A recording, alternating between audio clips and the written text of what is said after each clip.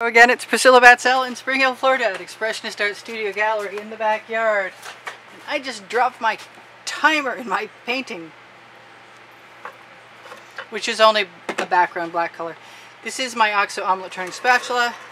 This will give me a nice background, back a, a layer of paint. Lately I'm having a harder time using my tongue. So I've got beautiful colors left over and I'm thinking about ring pouring them right onto this black.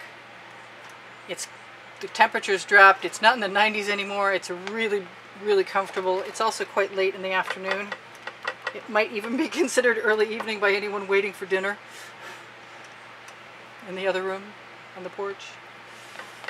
Anyway, so I'm going to worry about my edges later. I know you've heard me say that before, but it's really true this time. I'd kind of like to move this to the back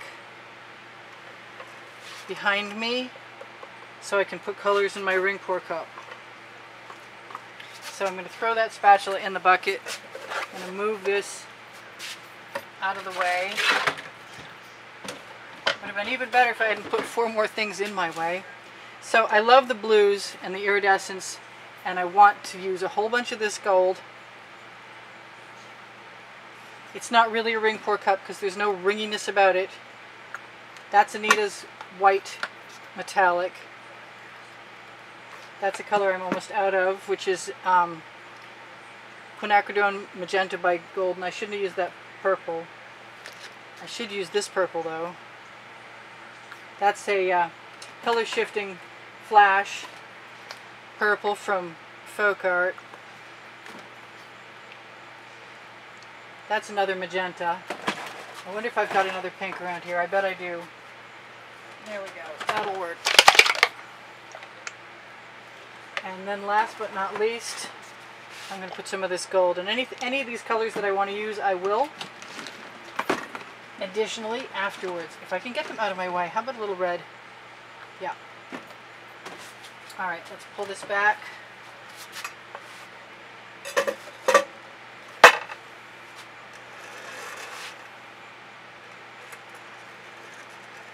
Okay, so far not a ring pour. Definitely a ribbon pour. And I don't have all the color I want in there at all. And I'm going to put some more of that red in. And some more of that orange in. The orange is great.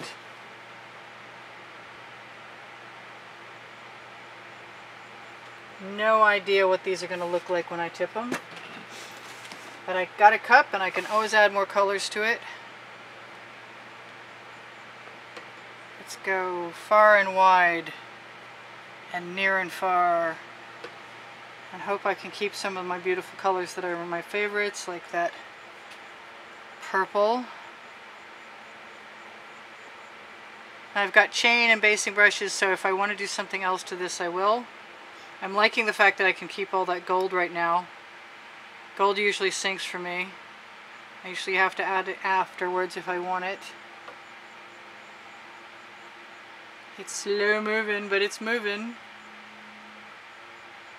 I think I'm going to need an edge catcher, and I have one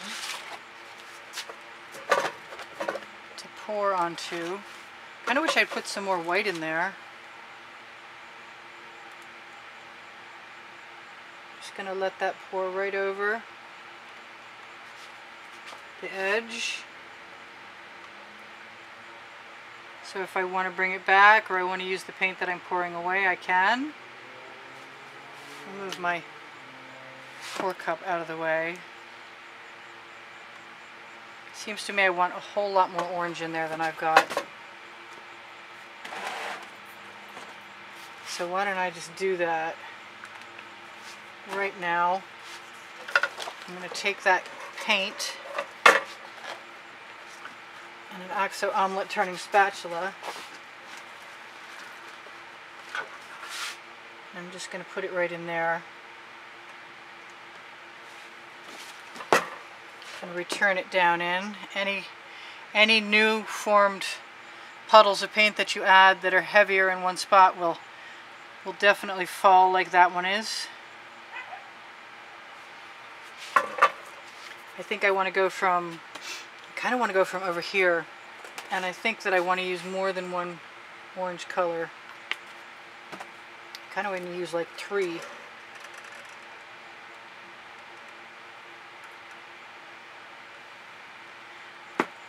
And I'm going to do a little less. I thought I was going to do. yeah, that's how that works. I thought I was going to do a little less tipping there, but I'm not.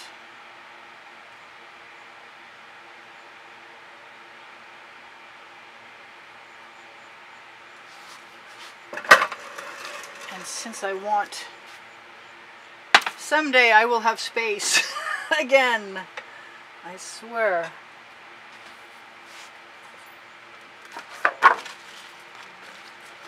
So I'd love to say I'm sorry that this isn't a ring pour, but I'm not. So let's just put some black right over the edge.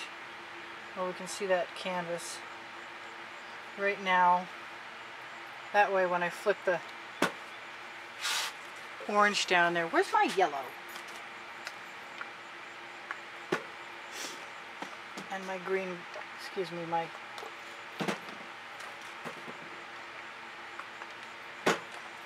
Let's just go for it permission to do whatever I want, which is what I always have anyway. And I have found recently that when I do these freeform puddles, it's nice to mix them up.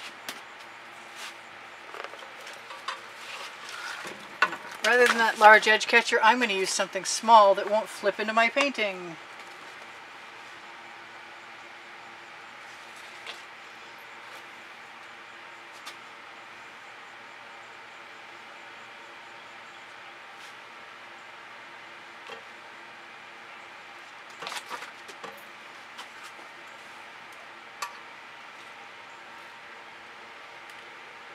I like that white in there. I like that the black is coming along with that. The other also.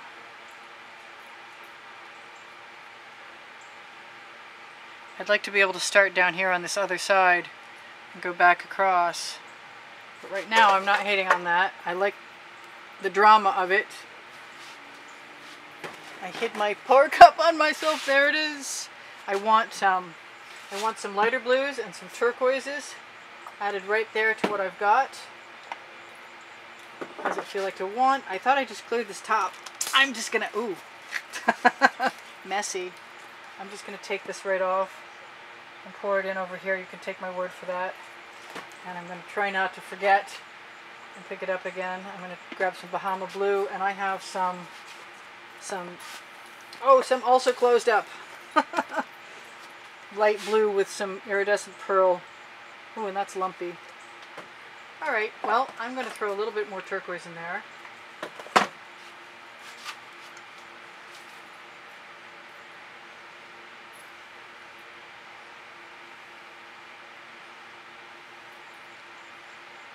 And hopefully I can get that to do something I'm imagining. I'm going to seal this one back up at least for right now. Take a couple bottles out of my way couple 16.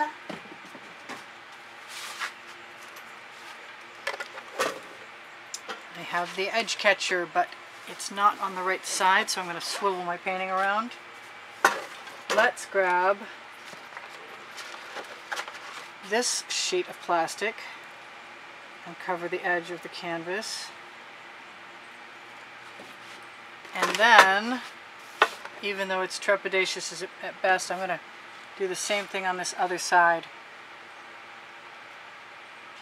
Let that run down right there. And then I'm going to send it right, hopefully. I want all that to come at once. Right there. So, cover up my fingerprint. You know what? I think I'm just going to use my favorite color in there. And a little bit of black. And a bunch of gold. Maybe some orange. And that will give me the puddle that I need, that I want to cross over all those other things.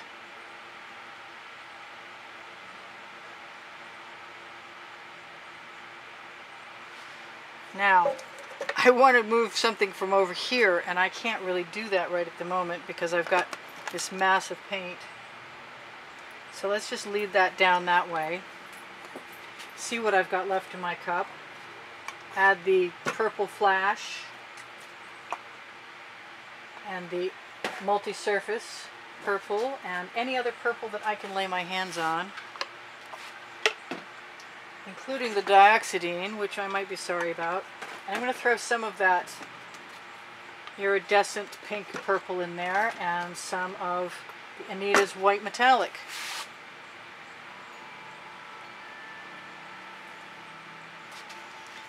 and I'm going to scrape that out if I've got something to scrape it out with. I kind of want to raise up that end before it tips over. I want to raise it up higher than that. Come on, you can do it. Alright, so where's my, there's my Princeton Art Tool Catalyst spatulas.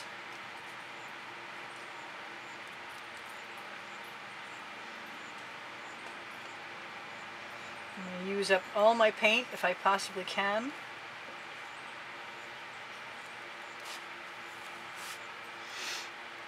I I hate leaving that, but I've got to do it.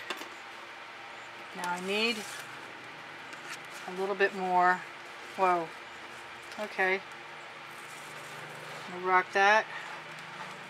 Doing this with my right hand, which I'm not used to doing. I want that to go right back on. Yes, I can do this. I can, I can, I can. It's not easy, but I can. If I would stop putting bottles on my edge catchers, that would be so terrific. Now that's not the right color and I don't want to dump all that in there. I can always cover my black spots later. Be nice if I wasn't scraping the painting off underneath the thing that holds my camera up. I think I'm just gonna, ah, nope. got it. It got me too. Pull that back over here.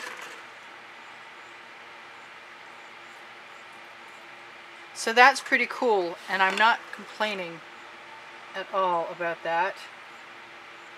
If I'd left myself a little bit of paint, and I maybe I did, I could probably continue on. Let's see what I've got here.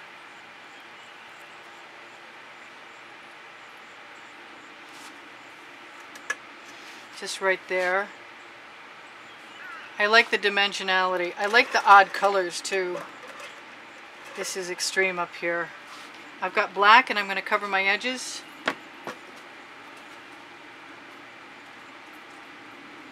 I don't know how far I want to go with that. Not much further, I gotta say.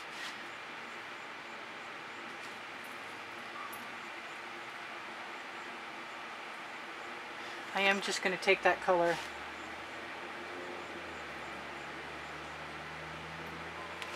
and lead it right down there.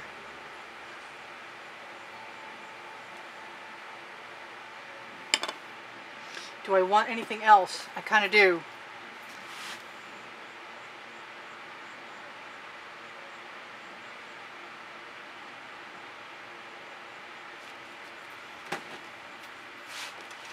Now I've got schmutz on there and I'm hoping that it'll be okay.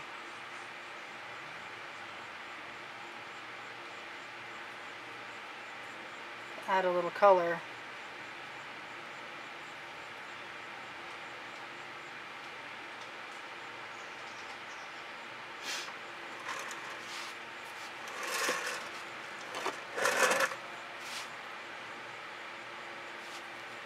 There, I'm kind of happy with that, actually.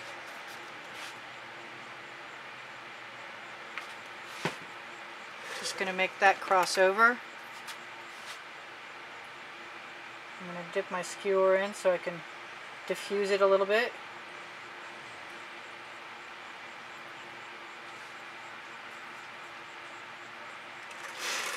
And call it fairly well off. Alright, so I'm just going to torch and fix my edges. And thank you for joining me. This is Priscilla Batzell in Spring Hill, Florida at Expressionist Art Studio Gallery, realizing the timer is not set. It probably was set, but I probably didn't push the start button. So I love you guys, and I hope you got to see most of that. I'm going to touch my edges up right after I uh, torch. That was a lot of fun. I torched to release, the to release the bubbles caught in the paint from shaking my paint in the bottles with pouring medium and reshaking them every time before I use them again. I have enough paint on my edge catcher and stuff to cover new spots if I need to. I love you guys. I don't know how much time is left. It says there's four seconds, so maybe you are still here. I'm going to take this It came from over there and just apply it right like that because I can and fix my edges. So I ought to tell you guys, in case the timer does go off and I'm not cut off, that I do sell my artwork and the email address to contact me is right under the link tree, right under the video, along with Pinterest, Instagram, Twitter links, Facebook groups, Expressionist Art Studio Gallery Appreciation Group for students, Expressionist Art Studio, Gallery Totes and more for anybody shopping. My Fine Art America Pixels.com, which are incidentally also right under the link tree. Should you be interested in finding them, you can. I have Teespring clothing, and it's under the video on Expressionist Art Studio Gallery Priscilla Batzell's channel. There's 86,600 subscribers there. Well, nearly. I get the numbers confused once in a while. Forgive me. Close. I thought I'd be at 100, 100 grand by now, but nope, not yet. Sometimes that, that hot, hot pink kind of messes with my head. Makes me want to put a, uh, a basting brush in there.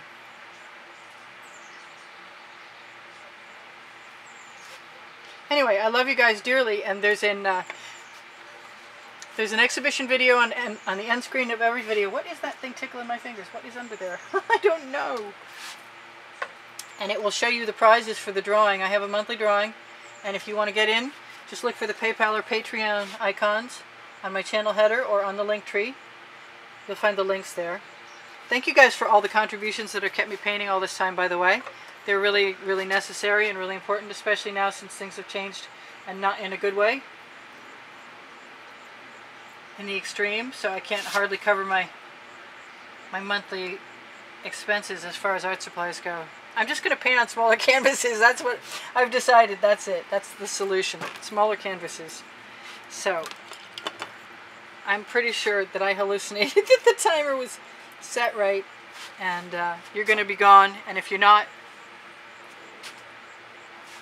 I'll tell you again I love you. And this is Priscilla Batzell in Spring Hill, Florida at Expressionist Art Studio Gallery in the backyard. And uh, I'm going to torch again. But I'm going to see if you're still here first. I've touched up my edges and that fingerprint. The Floetrol will level the paint out. My paint pouring recipe is under the video. And you're still here, and that's so cool. All right. Well, I like this. This is different. That was fun. That's just tipping in a bunch of different directions. And uh, messy work, but well worth it. So I can check my card. Give me a thumbs up, please. And uh, I got paint on my crib sheet. Go figure. Check the Amazon link. If you shop there, it's at no added cost to you, and it helps me out. And I appreciate it very much. And I've had, had my few little tweaks here and there, and I'm happy about them.